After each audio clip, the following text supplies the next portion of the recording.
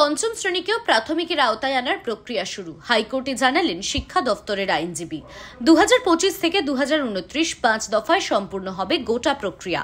প্রথম দফায় দু স্কুল, দ্বিতীয় দফায় এক পঁচাত্তরটি স্কুল, তৃতীয় দফায় দু স্কুল, চতুর্থ দফায় বারো হাজার স্কুল, পঞ্চম দফায় তেরো হাজার তিরানব্বইটি স্কুলে প্রথম শ্রেণীকে প্রাথমিকের আওতায় আনা হবে।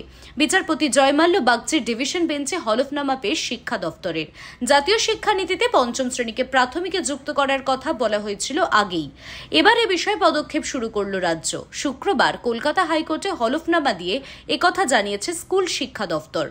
বিচারপতি জয়মাল্য বাগচির ডিভিশন বেঞ্চে জমা দেওয়া হলফনামায় রাজ্য জানিয়েছে, পঞ্চম শ্রেণীকেও প্রাথমিকের আওতায় আনার প্রক্রিয়া শুরু করেছে রাজ্য। দুহাজার পঁচিশ থেকে দুহাজার উনত্রিশ সালের মধ্যে পাঁচ দফায় সম্পূর্ণ করা হবে এই প্রক্রিয়া। শুধু পঞ্চম শ্রেণীকে প্রাথমিকের আওতায় আনা নয়, সেই সঙ্গে পর্যাপ্ত শিক্ষক নিয়োগ, পরিকাঠামোগত মানোন্নয়নের কথাও আদালতকে জানিয়েছে রাজ্য। আপনারা দেখছেন ইউএন লাইভ বাংলা খবরের শেষ কথা।